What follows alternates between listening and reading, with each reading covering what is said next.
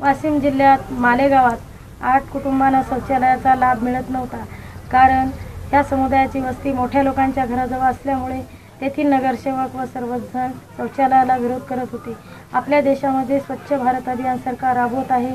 प्रत्येकाला शौचालय असणं गरजेचं आहे म्हणून मी हा व्हिडिओ बनविला. वीस पंचवीस झाले वर्ष झाली या जागेत राहायला लागलो आम्ही पण आम्हाला शौचालय नव्हते. तर रवीनाताई आल्या त्याच्यामुळं आम्हाला यांनी कागदपत्र करसाठी लावले. कलेक्टरकडे नेलं. त्याच्यामुळं आमचे घर हे संडास मंजूर झाले तर.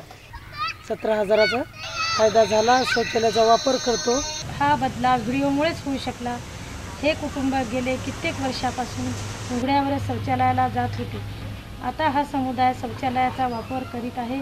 मी रोहिणी खंडारे वाशिम जिल्हा मालेगावातून इंडिया अनहटसाठी.